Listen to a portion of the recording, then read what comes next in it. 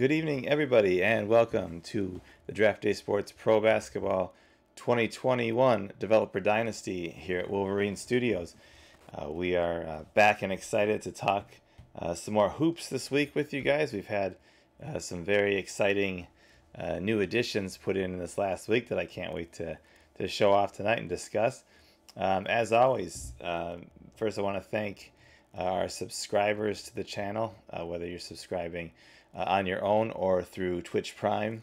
Uh, we certainly appreciate that support for our channel and for our efforts here. Uh, you know, we're uh, figuring out ways that we can continue to expand the channel in different and unique ways going forward.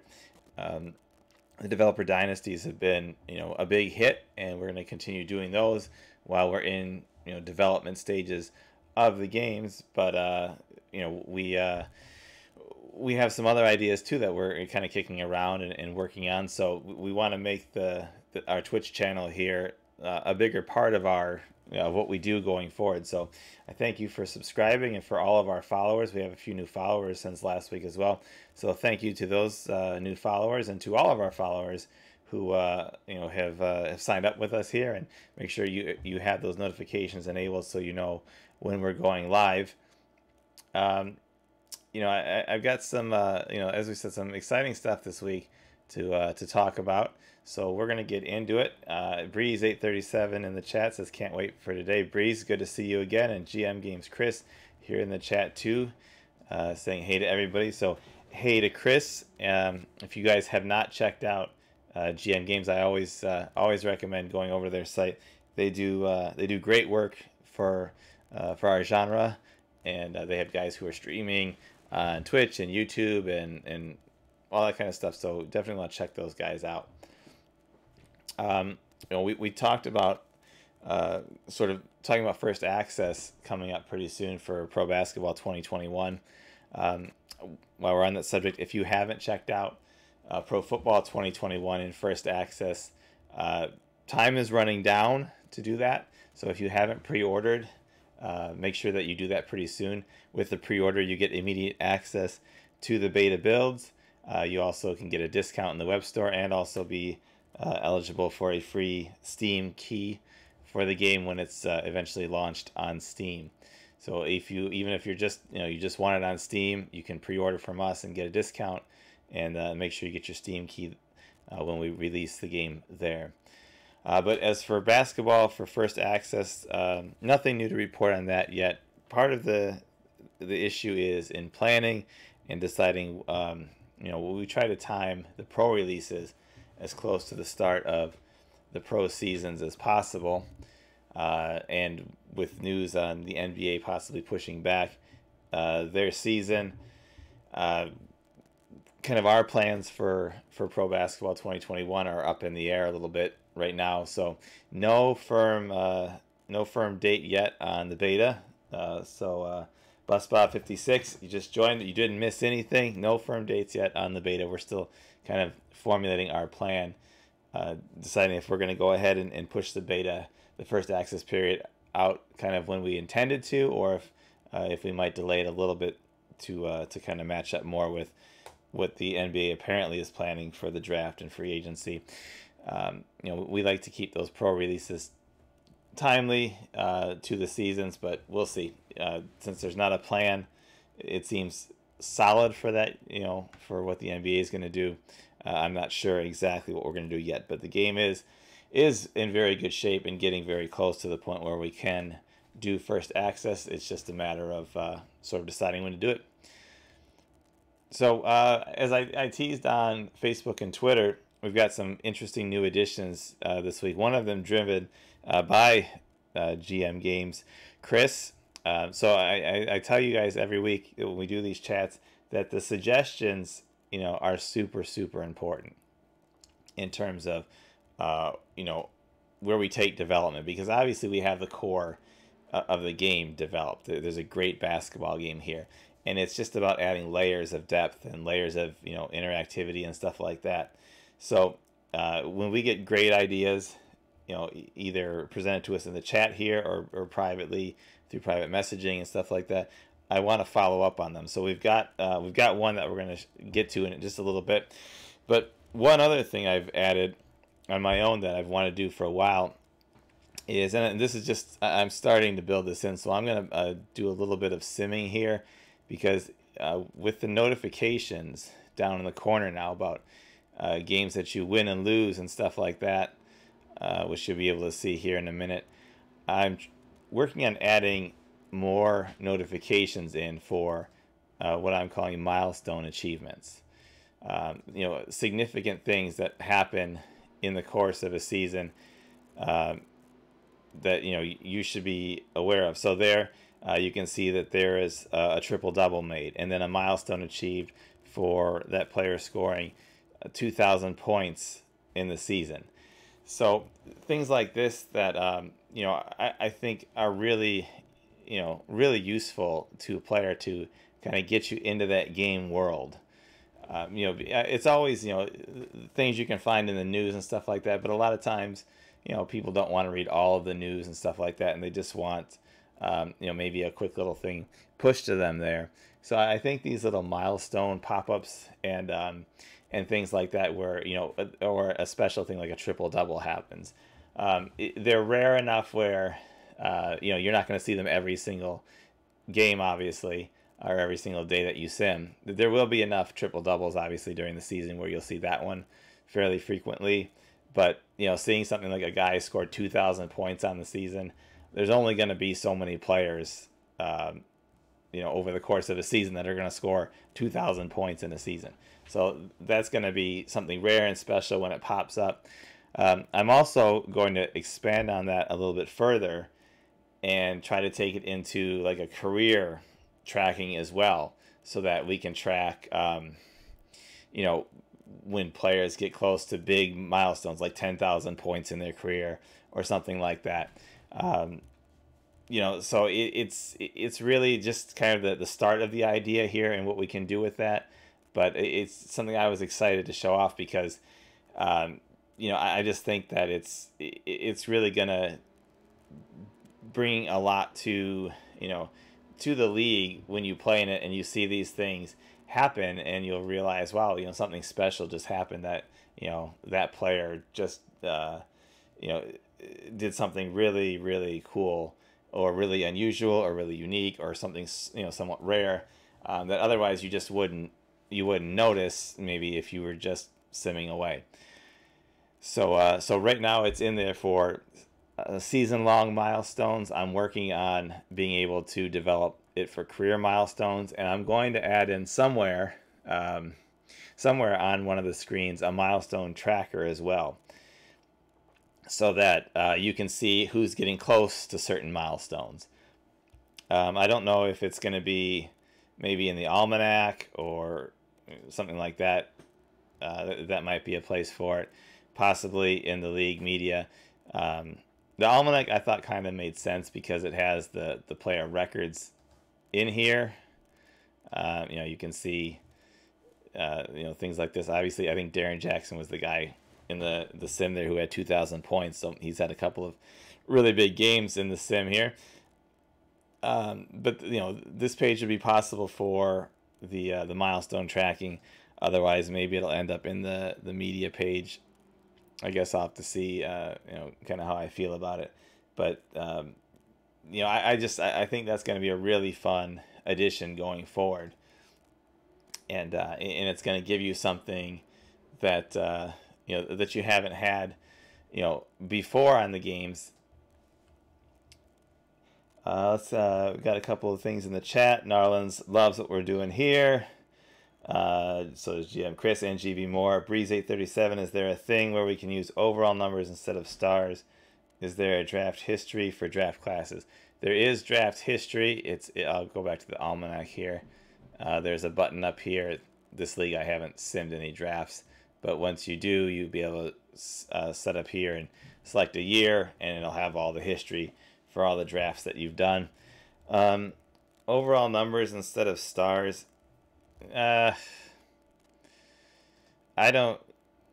I don't have that option. I I kind of prefer the over the star because I I don't want it to be so concrete because I, I think that when when we have an overall number, you know, uh, players people tend to look at it um, and say, oh, he's an you know he's a 92, so he's better than an 89, where they both you know they both might be a four and a half star player or something like that. Um, so I think that if you have the, the star system, it kind of lumps guys into different groups and tiers.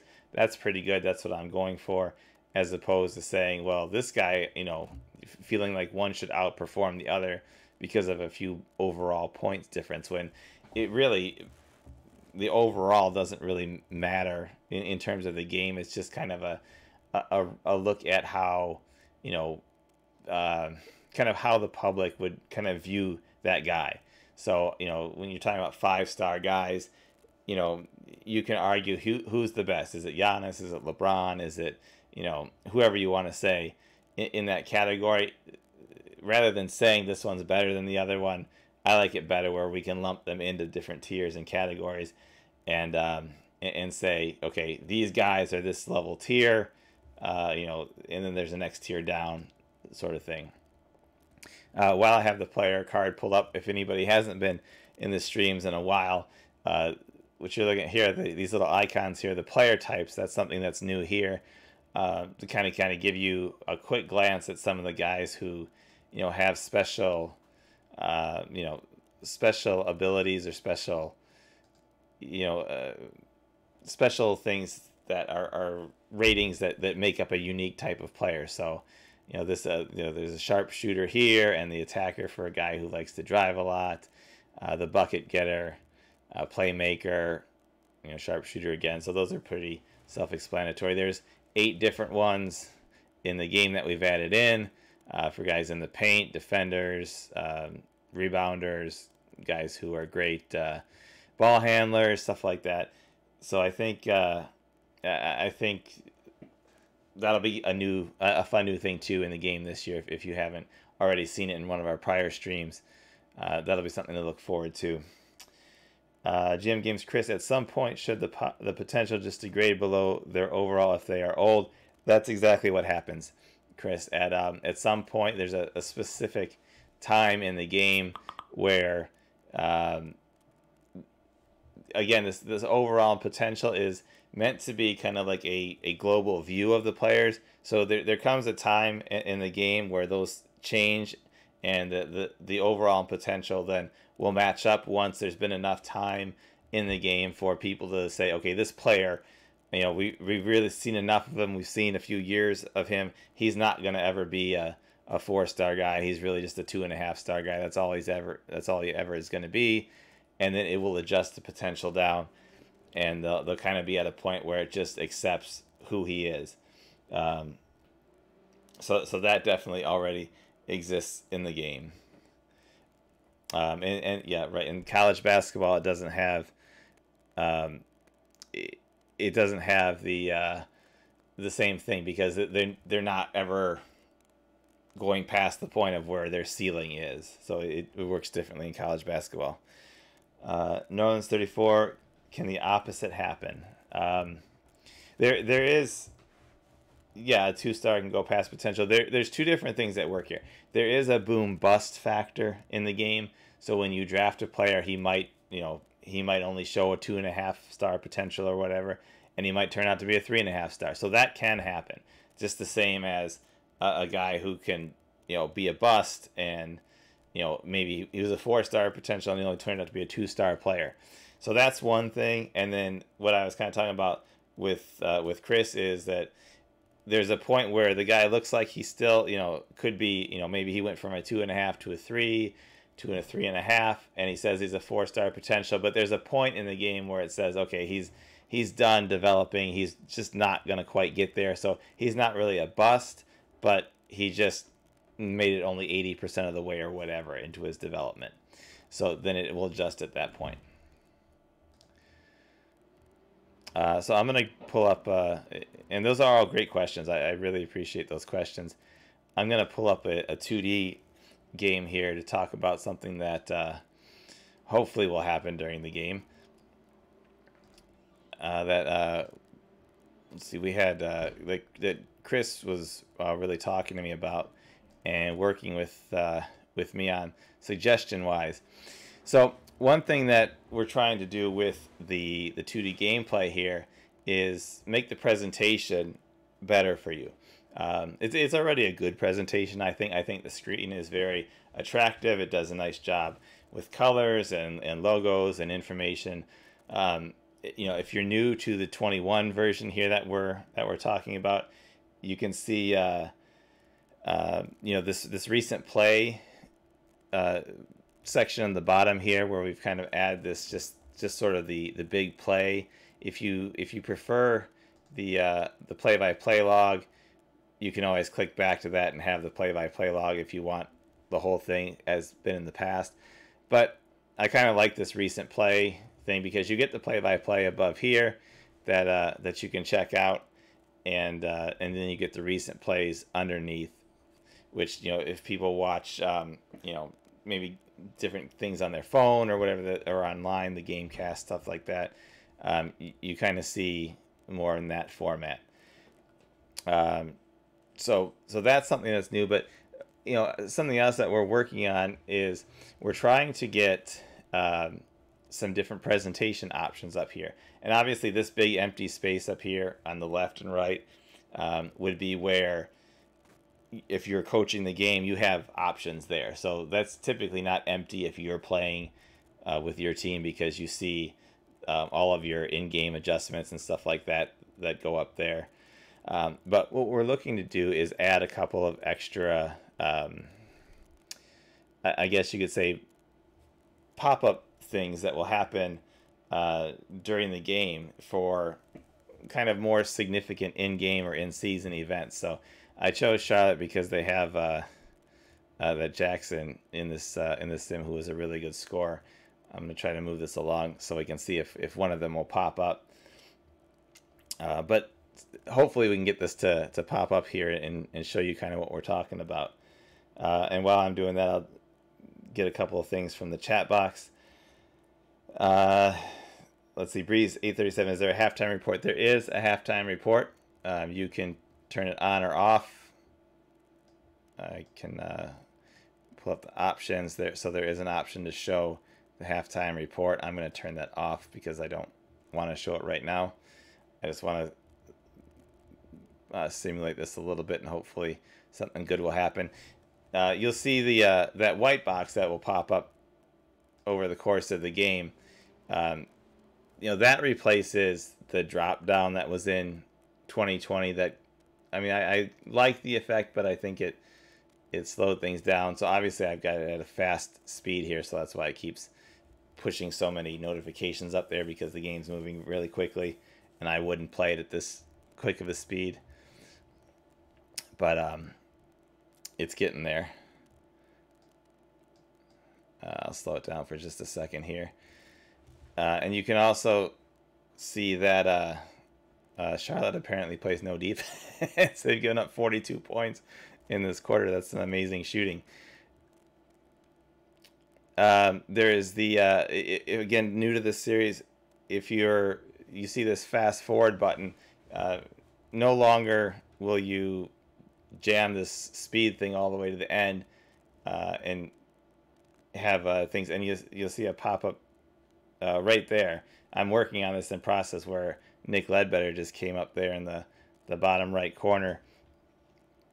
Uh, so that that'll show up when something um, important happens in the course of the game. So in, that case, um, I think he made it. He must have made it over the 20 point mark, and so it will it will pop up his picture down there and show. Um, I still have to work on the notification a little bit, but it will show a notification that he's had uh, 20 points in the game or that he's had, you know, this is his 10th 20 point game of the season, stuff like that. So it's it's going to push, um, you know, things like that up on the screen for you while the game is going on. So I don't know if you've caught. I'll try to kind of stim ahead a little bit faster here, and we can get some of the the starters back in the game, and then hopefully something good will happen.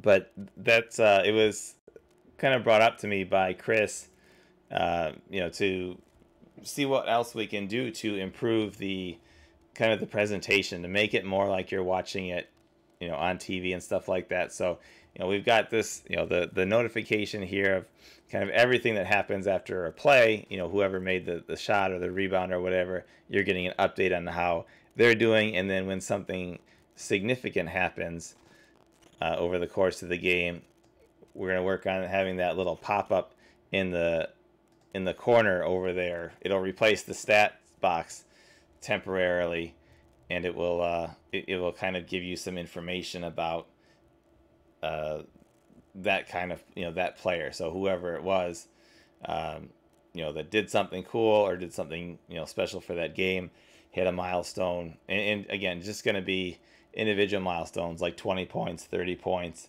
uh, stuff like that. I'm working on adding more to it, but at at, uh, at this point, that's what uh, that's what it is right now. I'll slow the speed down a little bit and see if uh, if anything happens here with Stevens or Jackson. Um, and while we're doing that, Chris, uh, if the shot was a three pointer, it'll be the three point field goal. So yeah, um, the information box will try to update different things though, so you don't always see the same information on the screen.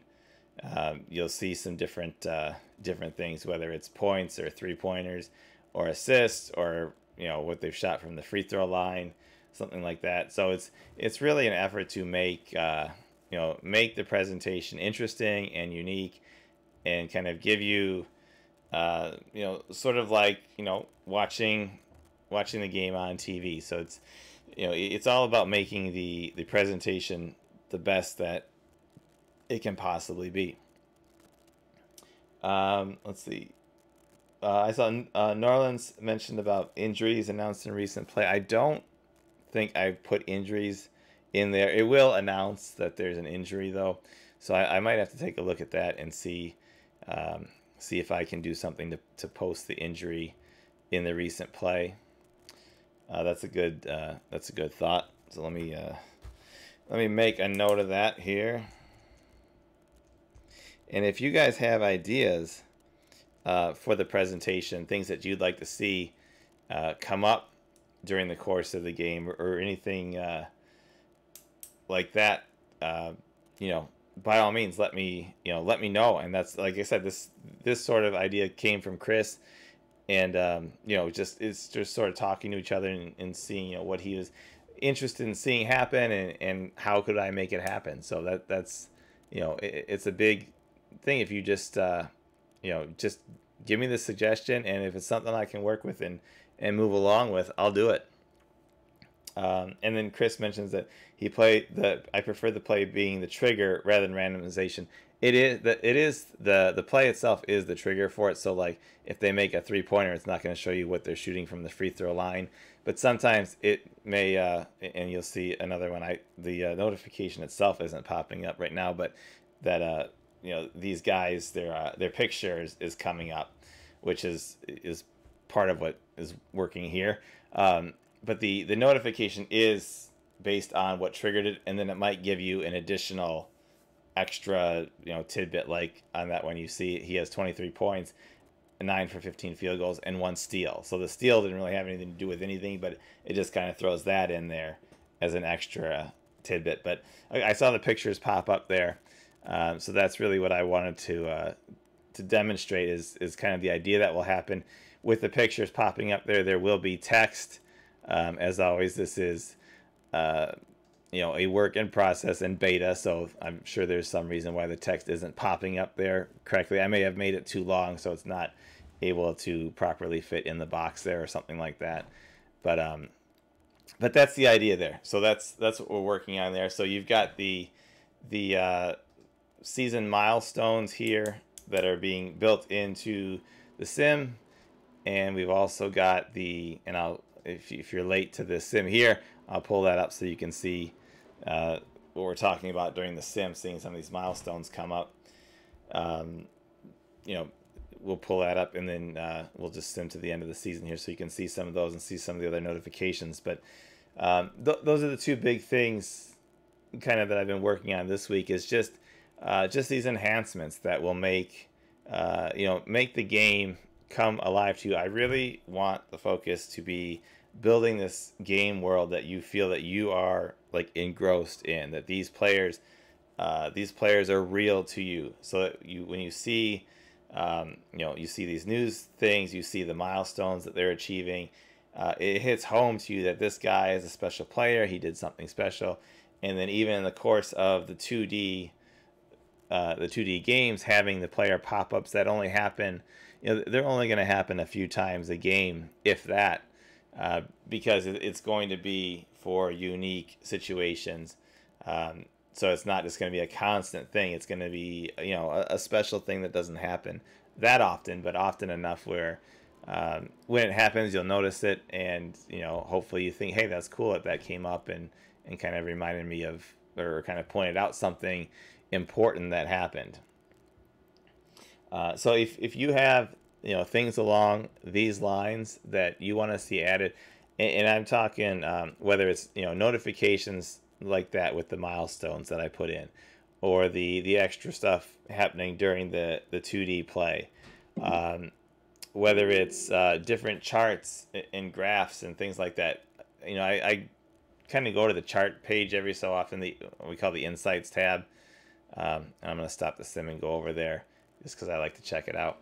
Uh, you know, there's so many things we can do tracking wise, and this is something new here. I'll put in, I'll pull up the four factors uh, in terms of a team versus team look. This is a new uh, chart that I've added into the game this season. So uh, you've got your offensive effective field goal percentage, the turnover percentage, the offensive rebound percentage, and the free throw rate, and then the defensive ones as well. So you can see where your team is stacking up in all these areas of the what they call the four factors.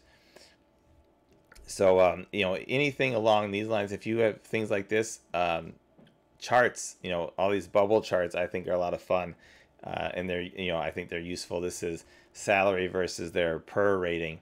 Um, obviously, you want to have a, player like Joe Holtz here who uh, has a very good per and a very low salary.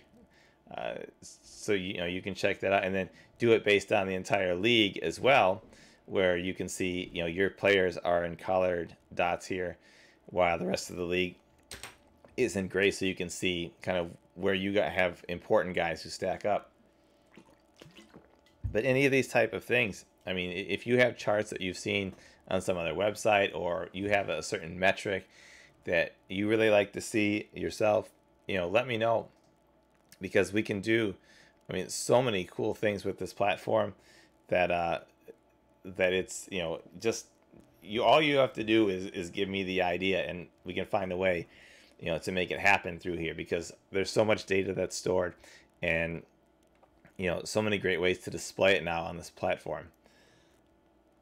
Uh, let's see, a couple of questions in the uh, chat box before we wrap up here. Uh, Breeze, what are the chances of an undrafted player being a steal as an undrafted All Star? Um, undrafted All Star, I would say not very likely at all. Uh, there is the uh, rare occurrence where a player could be a second round pick and turn into an All Star. Um, again, that is rare. Uh, you know, and I've had we've talked about this on prior streams where people have said that it doesn't happen, you know, very often or something like that players like you know Ginobili, Draymond Green, uh, you know they're not in every draft. It's Michael Redd, stuff like that. I mean, we're talking about going way back now. You know, eh, for kind of the, the second round picks that were all star players. It's just it's not in every draft, so it does happen, but I, I think it happens at an expected and reasonable amount in the drafts. Um, uh, GM Games Chris, is there a tracking area for each offense that is being run with their stat breakdown? Uh, that is not tracked. It is not tracked by. Um, I'll go to the strategy page so you can kind of look at the different offensive strategies. It's not tracked by that because the teams don't switch back and forth. It's not like the, the college game where, um, and maybe that's something that I should track in the college game, or you know, see how many uh, you know how many points you score running flex versus what you score running motion stuff like that this is more of a philosophy type thing um, which will drive how your team plays overall so it's it's there's some there's some s- large differences between the offensive and defensive strategies in the pro and college games. Uh, so I, I, don't think I'd want to track it by um, track that in the pro game because you're not switching between them during the game. Really, it's kind of your philosophy overall for building the team. um, let's see. Uh, and Bree says, uh, "Will there be an all-time greats leader during a 2D game?" Uh, right now, the 2D game is that's uh, it's only do doing it's only set up to track individual uh, accomplishments right now. But again, this is just the start. I mean, this was something that Chris talked to me about during this week, uh, just as an idea he had, and, and I said, okay, let's let's start with your idea and and run with it, see where we go. So you know that's just the start, and the the the milestones that I'm talking about on a single season basis is just the start. I'm I have um, already started the work for the career type milestones. Uh, you know that I talked about earlier in the stream, so that you know if a player hits ten thousand points or something, you'll see that milestone pop up and say, you know, whatever he's he's hit ten thousand points. Um, so so I will expand that to the career. I'll see about pulling that data in for the individual 2D games as well. But I mean that that's a good uh, that's a good suggestion as well. So uh, we've got uh, we've hit our 30 minutes already very quickly. It always goes so quickly uh, during these streams. It, it just I, I I really like talking about kind of some of these small details and uh, in, in, what we're kind of expanding the game to do you know during these streams. So you know I, I really like this platform of Twitch to do that because it's it's so much better I think to do it visually and to get the feedback as we go. I mean it was I really I really liked the initial reactions. Just as people saw early in the stream today, the milestones start popping up during the sim. Um, you know, because it's it's unexpected. You know, it's not something that's part of the game uh, prior to this, and it's not something that it's you know we we've been talking about or anything like that. So um, I, I like to reveal you know these these things, and I think all these little things add up to something big for the game. And in 2021 version here, you know, that's really what the focus has been. Has been, you know, improvement by you know a thousand small things. Um, you know, there's a couple of you know bigger overall concepts as well, but I really think that the improvement in the, the small things, just um, you know, like those milestone pop-ups, like the pop-ups that say, uh, you know, somebody had a triple double, something like that. I think that you know those type of things really, um, really enhance what we're doing with the game here and really help you feel more connected to the game world. So if you have any ideas that you feel would improve even on those, um, please hit me up here, email, uh, fill out our support form, catch me on Slack. Anything that, uh, any way you can get that idea to me so that you can see, you know, we can, we can talk about it. We can, you know, flesh out your idea. And if it's possible, I'll build it in. So I want to thank everybody for coming to the stream tonight. I hope that uh, that you're as excited about some of these additions as I am. Um, you know, again, thank you to everybody who follows us. If you're new to the stream and you haven't followed us, please hit that follow button and uh, make sure you have the notifications turned on so that you know when we're always going live. And thank you, as always, to our subscribers who, you know, we really, really appreciate your support uh, to our channel and to our endeavor here. Uh, that'll do it for this week on Draft Day Sports Pro Basketball 2021. I look forward to uh, another great week of talking to everybody and getting some more great suggestions and another great week of uh, of improvements and works and fun things to show off next week. So I'll see you next Tuesday right here at 7:30 on our Twitch channel. Everybody have a great week and uh, let's keep those great suggestions coming in. Thanks everybody.